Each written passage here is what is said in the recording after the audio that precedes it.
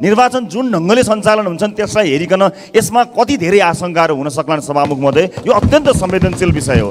र यो हाम्रो मात्र विषय होइन। निर्वाचनको निष्पक्षताको विषय भनेको एउटा संसारले हेर्ने विषय हो। यस्तो संवेदनशील विषयमा अर्थमन्त्रीज्यूले सम्पूर्ण विषयमा दिने जवाबभित्र गोलमटोल जवाब दिने कुरा हामीलाई स्वीकार्य छैन। सुसंस्कृत राजनीति जान्ने सिक्ने क्रम जारी रहँदा लोकतन्त्रमाथिको हमला हामीलाई कदापि स्वीकार्य छैन। सदन चल्न सक्दैन सभामुख महोदय। मान्य सदस्यहरू प्रतिनिधि सभाको आजको बैठकको कारबाही प्रारम्भ हुन्छ।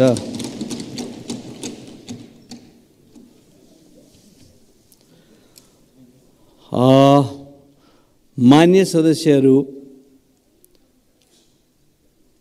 किन मान्य सदस्यहरू सबै उठ्नु भएको छ?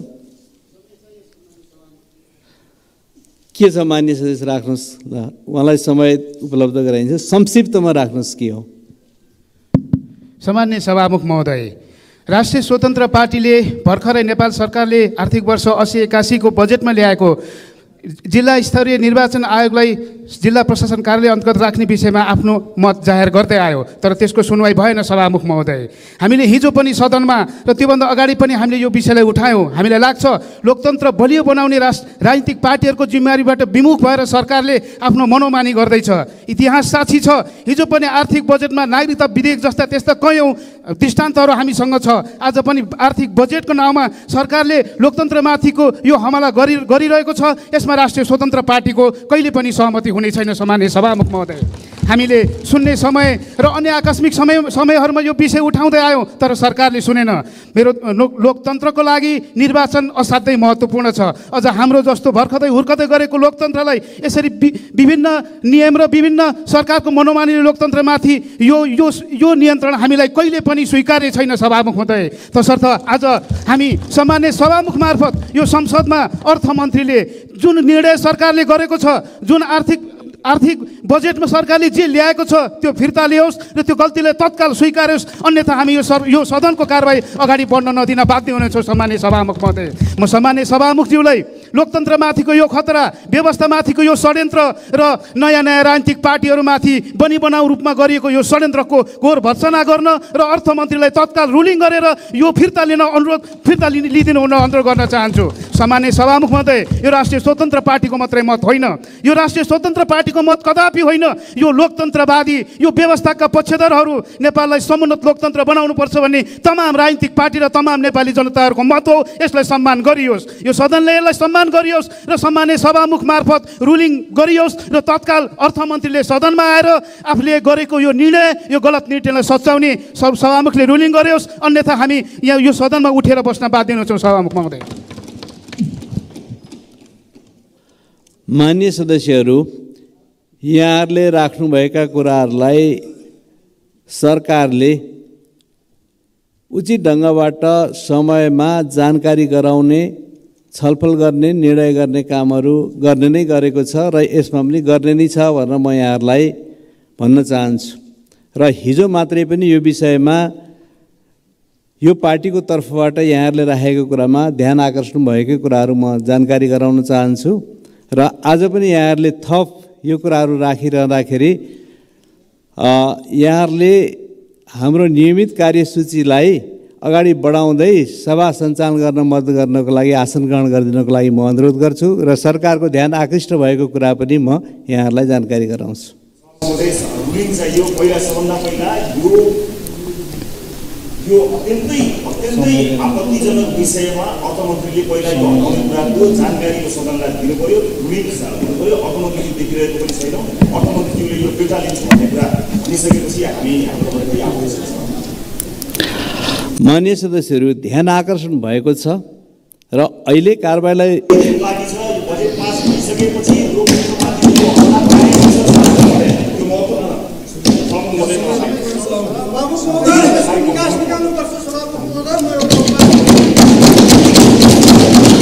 मान्य सदस्यहरू आसन ग्रहण गरौँ।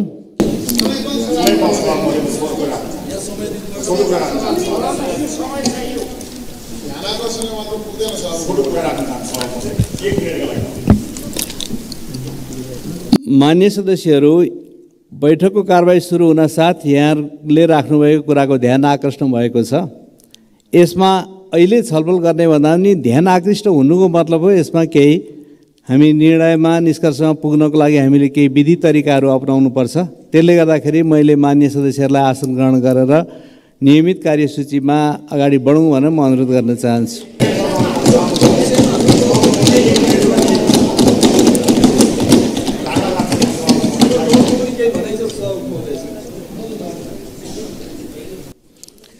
मान्य सदस्यहरू आजको हाम्रो कार्यसूचीमा हामी जानु किन जरुरी छ भने अर्थमन्त्रीजीले आज नै यहाँ उठेका सवालहरूको बारेमा जवाब दिने नियमित कार्यसूचीमा व्यवस्था गरिएको छ। र उहाँले आएर यी उठिरहेका सम्पूर्ण कुराहरूमाथि प्रश्नको जवाब दिने सन्दर्भमा यी कुराहरू सम्बोधन हुने नहुने र के गर्ने भन्ने कुराको लागि पनि मान्यज्यूहरूले कार्यसूचीमा जानको लागि सहयोग गर्नुहोस् भनेर म यहाँहरूलाई अनुरोध गर्छु कार्यसूचीमा त्यो अन्तिममा छ सभामुख महोदय हाम्रो यो यो यो विषय असाध्यै महत्त्वपूर्णको छ हामीलाई थाहा छ सरकारको एउटा बाध्यकारी अवस्थामा छ तर त्यो बाध्यकारी अवस्था भनिरहँदाखेरि यो निर्वाचन आयोगलाई प्रशासन कार्य अन्तर्गत लाने कुरा पनि सँगसँगै जान्छ। तसर्थ हामी दिँदैनौँ। सभामुख सभामुख सभामुख महोदय अहिले नै सभामुख महोदयबाट लिनुहोस् हामी कारवाही अगाडि बढाउन तयार छौँ। पनि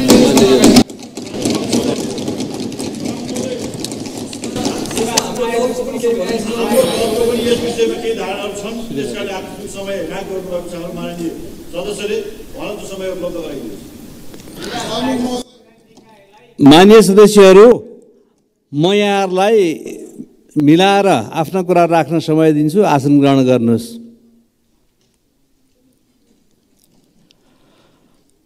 मान्य सदस्य योगेश भट्टराईलाई म समय दिन्छु। ल मान्य सदस्य सूर्यबहादुर थापा।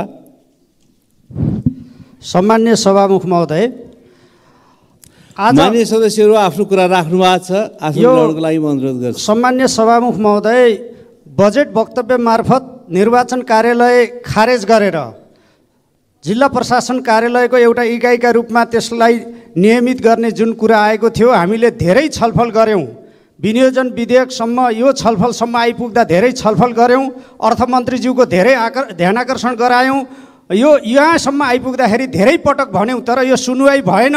त्यसो भएको हुनाले आज हाम्रो दलको तर्फबाट यो जिल्ला निर्वाचन कार्यालय र जिल्ला तथ्याङ्क कार्यालय खारेज गर्ने जुन जुन निर्णय भएको छ यो गलत छ यो लोकतन्त्र विरोधी छ यो चाहिँ यो लोकतन्त्रमा निर्वाचनको निष्पक्षताको सुनिश्चितता र प्रत्याभूतिको मूल मर्म विपरीत छ।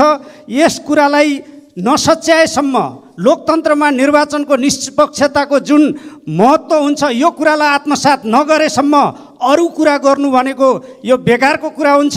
यो बेकारको कुरामा यो चाहिँ सदनले लगाम लाउनुपर्छ र यो निर्वाचनलाई निष्पक्ष गराउने कुराको प्रत्याभूति। हामीले छुट्टै चाहिँ निर्वाचन आयोगको व्यवस्था संविधान बमोजिम गरेका छौँ।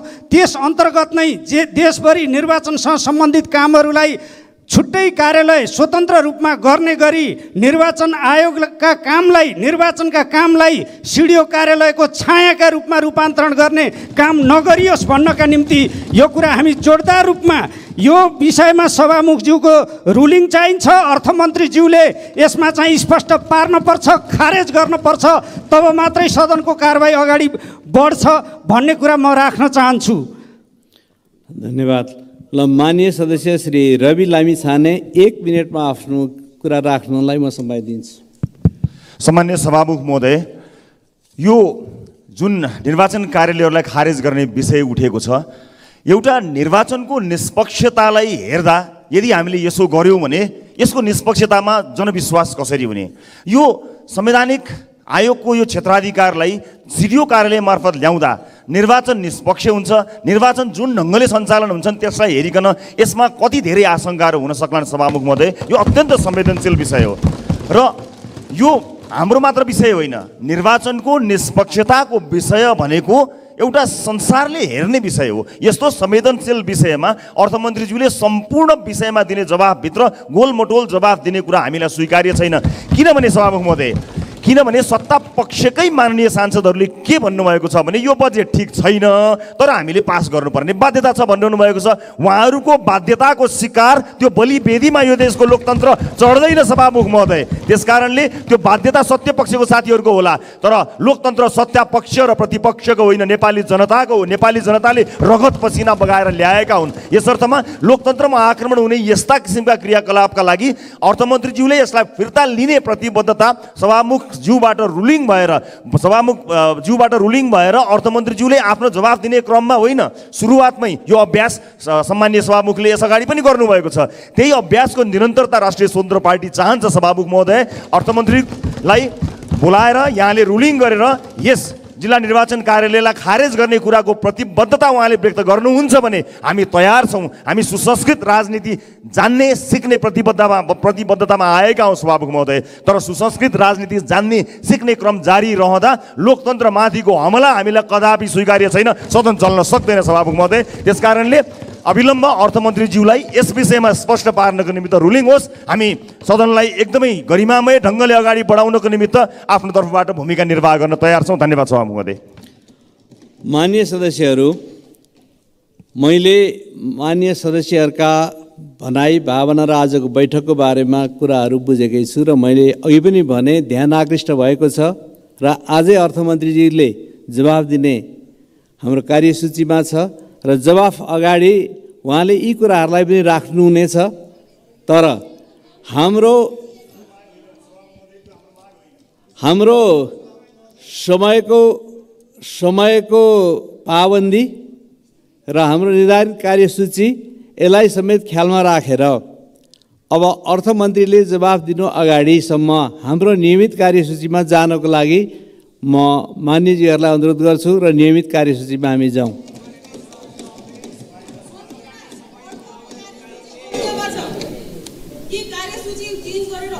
सुरुमा ल्याउनु पर्यो? त्यो लास्टमा गोलबाट लान्छ तर कहाँ हुन्छ अहिले नै अर्थमन्त्रीज्यूलाई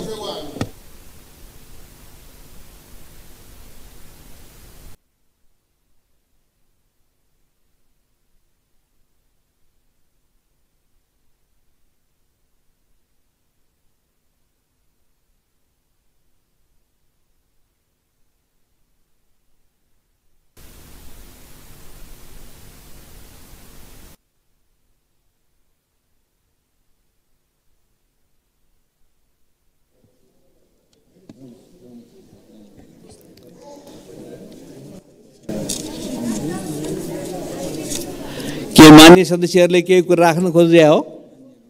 ल मान्य सदस्य रमेश लेखक के छ राख्नुहोस् संक्षिप्तमा?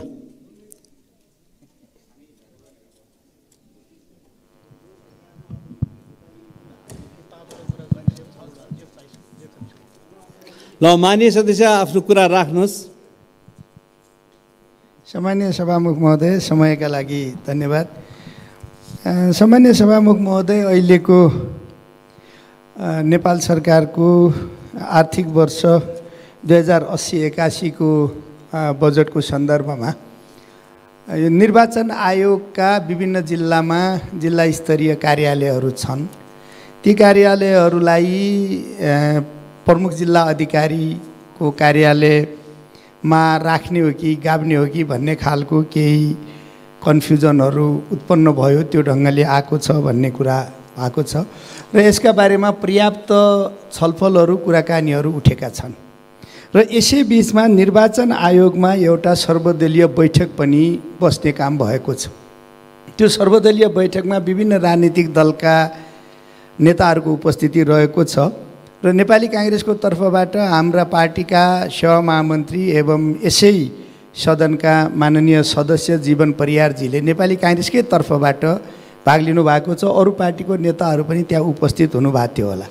त्यहाँ पनि निर्वाचन आयोगको निष्पक्षता स्वतन्त्रता उसको जिम्मेवारी दायित्व सबै कुरालाई ध्यान दिएर संवैधानिक व्यवस्था कानुनी व्यवस्थाहरूलाई हेरेर जिल्ला स्तरमा निर्वाचन कार्यालयहरू बेग्लै राख्ने स्वतन्त्र राख्ने जसरी अहिलेसम्म निरन्तर स्वतन्त्र रूपले निर्वाचन आयोगका माथतका जिल्ला स्तरीय कार्यालयहरूले काम गरिराखेका छन् तदनुरूप काम गर्ने गरेर नै अगाडि बढ्ने भन्ने राजनीतिक तहमा पनि बसेर छलफल भएर निर्णय भएको छ र हस्ताक्षर पनि भएको छ निर्वाचन आयोगमा पनि। र अहिले पनि आज बिहान मात्रै पनि माननीय अर्थमन्त्रीजीसँग अहिले संयोगले अर्थमन्त्री यहाँ उपस्थित हुन पाउनु भएन। बिहान मेरो पनि अर्थमन्त्री मान्य अर्थमन्त्रीजीसँग कुरा भएको छ। र के भएको छ भने मान्य अर्थमन्त्रीजीले आज विनियोजन विधेयक दुई हजार असी एकासीका बारेमा जवाब दिने आज पालो पनि हाम्रो तोकिएको छ कार्यसूचीमा। र मान्य अर्थमन्त्रीजीले जवाब दिने क्रममा निर्वाचन आयोगको निष्पक्षता स्वतन्त्रता विश्वसनीयतालाई कायम राख्ने र निर्वाचनलाई स्वतन्त्र निष्पक्ष रूपले सम्पादन गर्नका लागि स्वतन्त्र कार्यालयहरू नै जिल्लामा रहने गरेर नै अगाडि बढिनेछ। निर्वाचन आयोगका जिल्ला स्तरीय कार्यालयहरूलाई कुनै अन्य कार्यालयमा गाभिने छैन भनेर आज पनि नेपाल सरकारको तर्फबाट मान्य अर्थमन्त्रीजीले प्रतिबद्धता व्यक्त गर्नुहुनेछ। यो सरकारको पनि प्रतिबद्धता हो। निर्वाचन आयोगमा पनि निर्णय भइसकेको अवस्था छ। त्यसो भएको हुनाले मेरो हार्दिक आग्रह के छ सामान्य सभामुखजी मार्फत सबै राजनीतिक दलका आदरणीय नेताहरूलाई मान्य सदस्यहरूलाई भने सरकारले यो प्रतिबद्धता व्यक्त गर्नै पर्छ। यो पक्षमा हामी पनि छौँ। यसमा छलफल भइसकेको छ। त्यसकारण सरकारले गर्छु भनिसकेको छ। यो प प्रतिबद्धता व्यक्त हुन्छ। मैले चाहिँ त नेपाली काङ्ग्रेस संसदीय दलकै तर्फबाट पनि आग्रह गर्न चाहन्छु यो प्रतिबद्धता व्यक्त हुन्छ। हाम्रो पनि यसमा चाहिँ त सहमति भएको हुनाले सरकारले यो प्रतिबद्धता व्यक्त गर्ला। त्यस कारण अहिलेलाई कार्यसूची बमोजिम अगाडि बढौँ भन्ने म अनुरोध गर्न चाहन्छु। धन्यवाद।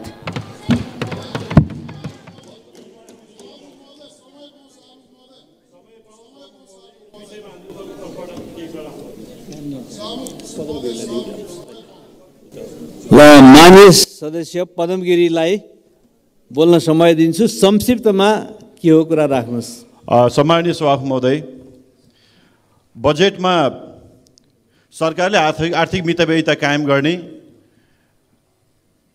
भन्ने नाममा चाहिँ संवैधानिक आयोग अन्तर्गतको निर्वाचन आयोगको कार्यालयहरूलाई एक प्रकारले कार्यालय खारेज गर्ने निर्णय गर्यो।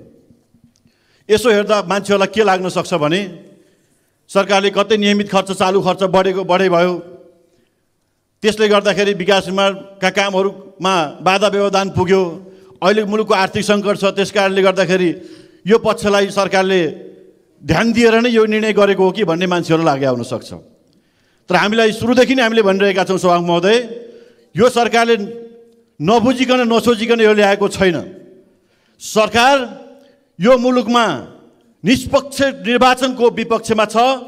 नियोजित ढङ्गले निर्वाचनलाई आउने निर्वाचनलाई प्रभावित पार्ने उद्देश्य यसभित्र अन्तर्निहित छ। यी सबै कुरालाई बुझेर निष्पक्ष र स्वतन्त्र ढङ्गले निर्वाचन गर्ने कार्यालयलाई खारेज गराउन जिल्ला प्रशासन कार्यालयभित्र लगेर एउटा इकाइको रूपमा स्थापना गर्ने काम नियोजित ढङ्गले भएको भन्ने हामीले बुझिरहेका छौँ सभामुख महोदय यसभन्दा अगाडि चौन्न सालभन्दा अगाडि जिल्ला प्रशासन कार्यालय अन्तर्गत एउटा नायब सुब्बा यो इकाइको प्रमुख रहेर गराउने काम पनि विगतमा भएका थिए। त्यसले निष्पक्षता कायम हुन सकेन। यो वास्तवमा बेठिक भयो। निर्वाचनलाई स्वच्छ मर्यादित र भयरहित वातावरणमा सम्पन्न गर्नका लागि निर्वाचन आयोग अत्यन्तै संवैधानिक आयोग भएको नाताले उसले स्वतन्त्र ढङ्गले काम गर्ने वातावरण दिनुपर्छ भनेर यस हिसाबले सबै जिल्लाहरूमा कार्यालय स्थापना भएको हो। त्यो कुरा सरकारले नबुझेको छैन सभा महोदय। अहिले के छ भने सरकारका प सरकारका पक्षधरहरू आफ्नो जनमत गुमिसकेपछि जनतामा आफ्नो विश्वास गुमिसके पछाडि अब निर्वाचनलाई आउने निर्वाचनमा जसरी भए पनि प्रभावित पार्नुपर्छ निष्पक्षता हुन नदिने गरी लाग्नुपर्छ भन्ने मनसाय अन्तर्निहित भएर यो प्रश्न आएको छ। यसलाई हामीले सुरुबाट हाम्रा दलका थुप्रै माननीयजीहरूले यो गलत भयो यसलाई सच्चाइयोस् भनेर बारम्बार भन्दै आउनुभयो। अन्य प्रतिपक्षमा रहेका माननीयजीहरूले यो विषय उठाउँदै आउनुभएको छ तर सरकारले यसलाई सम्बोधन गरेको छैन। यो मलाई त के लाग्छ भने सभामुख महोदय यो अर्थमन्त्रीज्यूको कुरा मात्रै होइन। यो सरकारले किन यो काम गर्दैछ? यसमा त स्वयं प्रधानमन्त्रीज्यू पनि आएर सदनमा जवाब दिनुपर्ने सम्मको विषय हो सभामुख महोदय। त्यस हिसाबले हामीले हेरिरहेका छौँ। त्यस कारणले गर्दाखेरि यो विषयमा तत्काल सरकारको तर्फबाट आएर यो जो निर्णय भएको छ यो निर्णय तत्काल हामीले फिर्ता लियौँ भनेर भनौँ र त्यस पछाडि बाँकी काम अगाडि बढाउनको निम्ति पनि हामी दलको तर्फबाट आग्रह गर्न चाहन्छौँ। धन्यवाद। मान्य सदस्यहरू विषयको गम्भीरता महसुस भएकै छ। पक्ष प्रतिपक्षबाट यो विषयमा कुराहरू आएको छ। खालि सरकारको तर्फबाट यसमा जवाफ आउने कुराहरू पनि कुराहरू आछ र यो जवाफ नआई नचलाउँ भन्ने यहाँहरूको कुराहरू आछ। त्यसैले म भन्छु आज कार्यसूचीमा छलफलै छ। त्यति बेरसम्म हामी निर्धारित कार्यसूची अन्तर्गत सभा सञ्चालन गरौँ। मान्यजीहरूको कुराहरू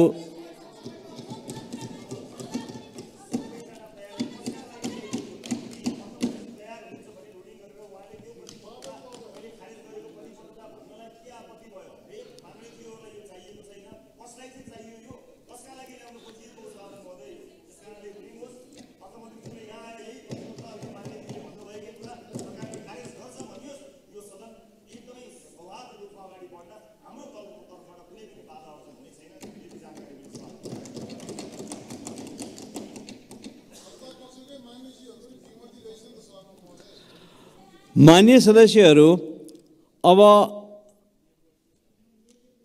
कुराहरू पक्ष विपक्षबाट आएको कुराहरूलाई सर्वपक्षीय भइसकेको मैले त बुझेको छु कि अब खारिज गरियो भनेको निर्वाचनको कार्यालयलाई यथारूप सञ्चालन गर्ने गरी सहमति भएको निर्णय भएको तमाम कुराहरू चाहिँ सत्ता पक्षका सचेतक प्रमुख सचेतकले पनि राखिसक्नु भएको छ र मान्यज्यूहरूले पनि कुराहरू राखिसक्नु भएको छ।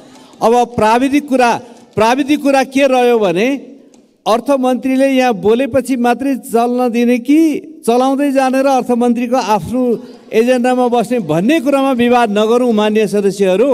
हाम्रो कार्यसूची अन्तर्गत अगाडि बढाउँ। यो विषयमा उहाँले आएर आफ्नो कुराहरू राख्नु नै हुनेछ।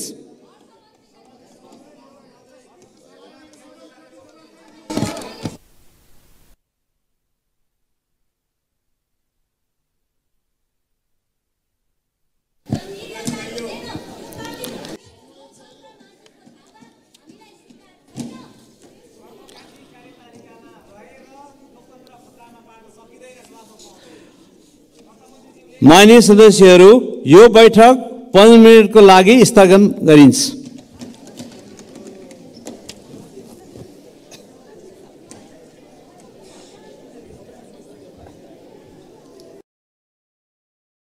दोलखाको सिगटी बजारमा रोलवालिङ सामुदायिक अस्पताल। चौबिसै घन्टा आकस्मिक सेवासहित विशेषज्ञ डाक्टरहरूद्वारा ओपिडी र अपरेसन सेवा पनि।